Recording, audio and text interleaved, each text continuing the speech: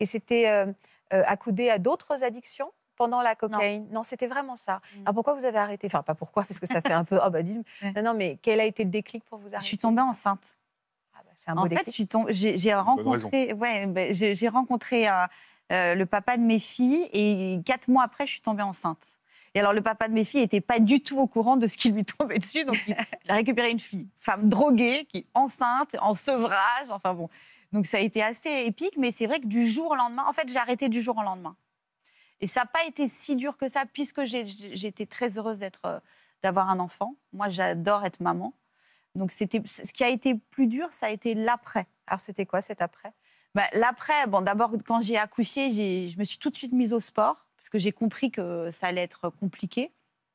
Et puis l'après, euh, bah, j'étais pas heureuse, en fait. Donc, c'est, donc l'après, c'est là que la nourriture est venue. C'est-à-dire, euh, je me sentais pas heureuse. Je, pensais que j'allais être pleine avec un enfant, et je pensais que l'enfant allait... euh, ça y est, ça remonte, j'ai re le- les, les sanglots. Tout. Et, et- et en fait, oui, aller, aller, aller effacer tout, tout mon mal-être. Et en fait, pas du tout. Donc, je me suis retrouvée finalement euh, avec ce petit bébé et, et avec mes doutes. Ça a été un moment assez douloureux. Qui vous ont jamais quitté, oui. Ouais, ouais, ouais. Et là est arrivé le sucre. Et là est arrivé, alors c'est un moment très précis, et là est arrivé le chocolat. Pas le sucre, le chocolat. Et le chocolat que je faisais fondre dans une, euh, que j'ai fait fondre dans une casserole, comme ça, là. Je regardais.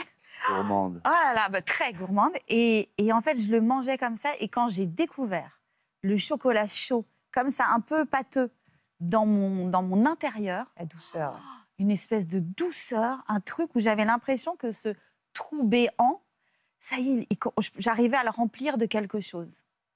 Et là, euh, bon, bah souris parce que vous l'exprimez extrêmement bien.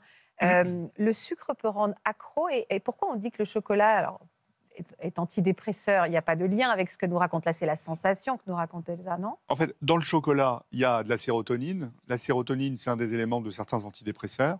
La sérotonine, ça nous permet de, d'être- de réguler un peu nos émotions, de sentir bien, de se sentir éveillé, de, de réagir aux émotions de l'autre, etc. Mais ce qui est intéressant dans ce que vous dites, c'est que vous essayez de combler en permanence un vide, Mm. un peu chronique, hein, qui existe depuis Ouais. longtemps, avec, je pense que vous fonctionnez en tout ou rien, non, un peu? Ouais, c'est ça. Ouais, ouais. c'est ça. Et, et, et, euh, et en fait, elle- en fait vous êtes comme un grand arbre, vous déplacez chaque branche. Il y a un peu de cocaïne. On n'arrête pas la cocaïne comme ça, par exemple. Donc la cocaïne, après, ça passe à la grossesse, Mhm. on se remplit. Ouais. Euh, après, ça passe à, au sucre, enfin au, au chaud du chocolat. Ouais, ça. Voilà. Et en fait, c'est le sucre qui euh, fait les mêmes effets que la cocaïne, en fait. Donc Ah c'est bah oui, ouais, ça, comme un shoot de, de douceur ou de chaleur ou de gourmandise. ce dopamine. shoot de dopamine, ouais, c'est ça. Alors, j'ai été mise sous antidépresseur aussi, quand Ouais. même. hein. À cette époque-là, J'ai été mise sous antidépresseur, ouais. Et vous dites pas, c'est drôle, vous dites pas j'ai pris des antidépresseurs, vous dites j'ai été mise. Oui, parce que parce que j'ai- j'ai- j'aime pas parce que j'ai j'ai pas aimé en fait. euh, euh, là, j'ai j'ai arrêté d'en prendre. Depuis combien de temps? Et ça, ça faisait 15 ans que j'en prenais. Pourquoi vous avez 15 arrêté là? Parce que ça... Pourquoi vous avez arrêté Ah, là? mais je sais pas parce que la ménopause est arrivée juste derrière. Donc, franchement, je sais pas pourquoi j'ai arrêté mes antidépresseurs, mais mais j'en pouvais plus. Je- En fait, si je vais vous dire pourquoi j'ai arrêté, parce que quand j'ai vu mon père mort, quand j'ai vu ma mère morte, je me suis dit mais je me suis vue moi avec mes antidépresseurs. Moi, quand ma mère est décédée à, l'hô- à la- à la clinique, je lui ai amené. euh, elle avait une poupée qui avait traversé sa vie et je lui ai amené son petit poupon pour qu'elle soit avec, le, avec son bébé dans son, dans son, Cercueil. dans son cercueil, merci. Et en fait, je me suis dit, mais moi, dans mon cercueil, on va mettre mon- ma boîte d'antidépresseurs, c'est pas possible. Et je me suis dit, je veux pas cette image. Je sais pas possible. Non. Donc, je, je me suis dit, bon, ben, je vais arrêter les antidépresseurs. Ça a été un peu long, mais j'y suis arrivée. Après, Euh, antidépresseurs et Xanax, parce que j'étais pleine de Xanax, moi. C'est des entrées- des tranquillisants. Ah bah, C'est c'est De ça, le ouais. matin, de le midi. Et on peut, on peut être addict des antidépresseurs? Alors, ce qu'on voit c'est- en France, c'est que les gens sont très longtemps sous antidépresseurs. Or, on sait qu'il faut des petites durées d'antidépresseurs en, en réalité. Donc, 15 ans, c'est énorme. Et arrêter au bout de 15 ans, bien évidemment, vous imaginez bien que c'est très long. Donc, il y a un sevrage en C'est antidépresseurs. quoi une petite durée? C'est 3 à 5 ans. Ah, ça, sur des dépressions c'est- chroniques. Oui, d'accord, Hein ça c'est pas. Pas ouais. sur un épisode dépressif. Un épisode dépressif unique, c'est maximum 6 à 9 mois après, après l'arrêt des symptômes. Donc ça fait à peu près un an de, de traitement. Mais là, on voit c'est vrai que les gens sont mis comme ça avec des wagons d'antidépresseurs, ça devient leur doudou, etc. Et par-dessus des tranquillisants. En France, on est champion du monde des tranquillisants tout ce qui est, euh, je ne cite pas les, noms non, bah, commerciaux, mais voilà, ça, ça aussi, c'est une catastrophe. C'est une catastrophe. C'est dangereux? On peut devenir addict grave à ça. D'accord. Vous, ça a été le cas Moi, ça a été le cas. Et puis depuis que j'ai arrêté les anxiolytiques, j'ai un, j'avais l'impression d'avoir des, des, des, pardon, que ça, neurones. Ouais, enfin que ça s'ouvrait tout d'un coup, que ça s'allumait dans ma tête. J'avais tellement été endormie. Et par exemple, j'ai des émotions et je les ressens. C'est parfois, je suis, je suis, je, suis de mauvaise humeur ou et je me dis, ah, tant mieux, ouais, je suis de mauvaise humeur. Je dis à mes filles, regardez, maman est de mauvaise humeur, c'est génial. Est-ce que votre... Je suis plus endormie. Est-ce que votre mère, elle savait euh, tout ce que vous traversiez? Elle l'a jamais su? Je l'ai reçu, votre maman. oui, je sais. Reçu Je sais, elle, vous avait beaucoup aimé d'ailleurs. Mais, euh, mais non, ma mère, elle voulait pas voir. Elle voulait pas. Elle, par exemple, c'est comme mes tatouages. J'ai des tatouages sur tout le corps. Elle, euh, j'allais la voir, même si elle savait. Vous cachiez. Elle, il fallait que je les cache. Ça la dérangeait. Elle faisait oh non non. Elle est rentrée dans le cadre, quoi. Donc oui, et donc elle savait, mais elle n'avait pas envie de, parce que je pense qu'elle, c'était trop dur pour elle. Ça voulait dire qu'il y avait eu un échec quelque part. Elle disait je t'aime, votre mère? Oui. Oui, oui, elle disait je t'aime. Et vous ne touchez pas. Moi, je touche tout le temps. Moi, j'ai besoin de chaleur et tout, mais juste, elle ne touchait pas. Vous l'appeliez maman? Euh, Je l'appelais maman jusqu'à l'attentat.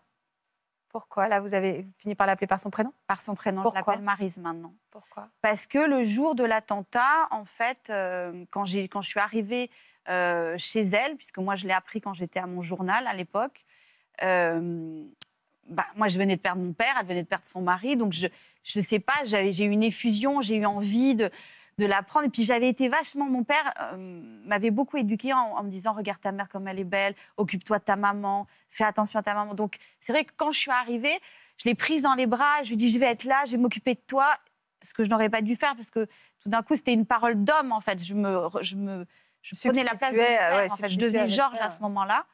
Et ma mère m'a repoussée et elle m'a dit on ne pleure pas, on ne pleure pas, pas d'émotion. Et en fait cette froideur pour supporter finalement le fait que ça soit ma maman qui dit ça à un moment où moi je venais de perdre mon père, je me suis dit ok, pour pas la détester, je vais l'appeler Marise. Ça sera une cette femme qui est devant moi que je vais aider, qui est veuve. Mais, dont, mais c'est pas ma maman, mais dont je ne vais rien attendre. Ouais.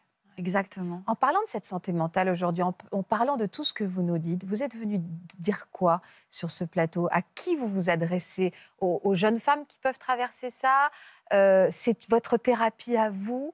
Euh, Pourquoi ce livre D'ailleurs, on va parler de son titre également, mais pourquoi l'avoir écrit? Alors, c'est pas une thérapie, hein? Non? Non. L'écrire en soi, ça n'a pas été une thérapie Non, je crois pas. D'accord. Parce que écrire dans ma famille, c'est normal. Mes parents écrivaient dans leurs livres. Moi, j'écris sur les réseaux, j'ai toujours écrit. Donc, c'est pas une thérapie. Euh, alors, dans votre question, qu'est-ce que je suis venue dire? En fait, moi, je me suis pas rendu compte que quand, je, quand au départ, je me livrais sur les réseaux sociaux, je me suis, je ne pensais pas que ma parole avait une, une résonance. Une résonance, oui. Et en fait, c'est vrai que j'ai reçu de nombreux messages de personnes qui me disaient merci de parler de l'hyperphagie, merci de dire que vous êtes fragile. Et moi, ça me paraissait hallucinant parce que finalement, euh, c'est ce que je suis et pourquoi le cacher?